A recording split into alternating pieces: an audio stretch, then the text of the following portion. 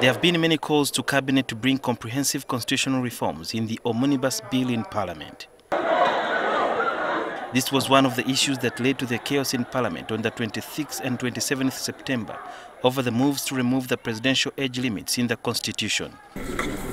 A joint news conference addressed by Prime Minister Dr. Ruhakana Rugunda, Government Chief Whip Ruth Nankabirwa, Deputy Attorney General Mwesigwa Rukutana, and other senior government officials Rukutana said the Constitutional Review Commission would soon begin consultations on possible clauses for amendment. We have already uh, selected the names.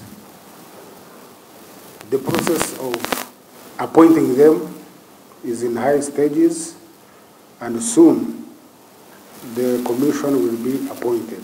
Religious leaders under their umbrella, the Interreligious Council of Uganda, cultural leaders and the Elderly Forum have on many occasions called for a national dialogue to resolve sticky national social, political and economic issues. There have been calls to government and the opposition to strike a compromise and not polarize the country. I am in government. I have the majority.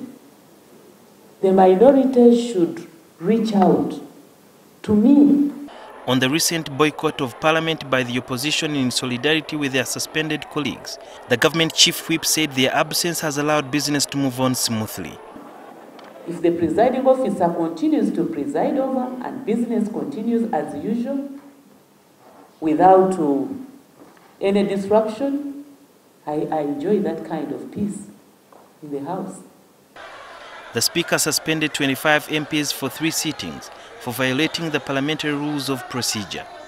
The suspension ends Wednesday and the MPs are expected back in the House on Thursday. Prime Minister Dr. Rugunda condemned three grenade attacks on the homes of three opposition legislators in Kampala and Magere near Kampala. We definitely condemn without any reservations those cowardly acts against uh, these three members of parliament. The Premier dismissed claims that the attacks were orchestrated by security agencies or elements linked to them in a bid to intimidate the opposition MPs against speaking out against the removal of the presidential age limits from the Constitution. National resistance movement cannot be involved in assassinating political opponents or in throwing uh, grenades in the manner that has been described. The recent brawl in Parliament that nearly stripped the August House of its dignity was widely covered by many local television stations here in Uganda. Shortly after, the Uganda Communications Commission issued a directive stopping media houses from hosting the 25 MPs who were suspended from Parliament. The same UCC banned the live coverage of Parliament sessions on the removal of presidential age limit, which some see as unlawful. For heaven's sake, when you and me or somebody who enjoys the corner may enjoy the fights in parliament.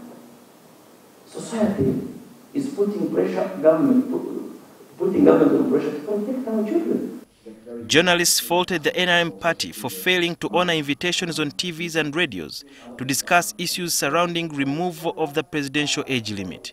The ruling NRM party's Central Executive Committee, the party's top policy organ, is slated to consult President Museveni over the recent tabled constitutional amendment bill that has a proposal to remove the age limit.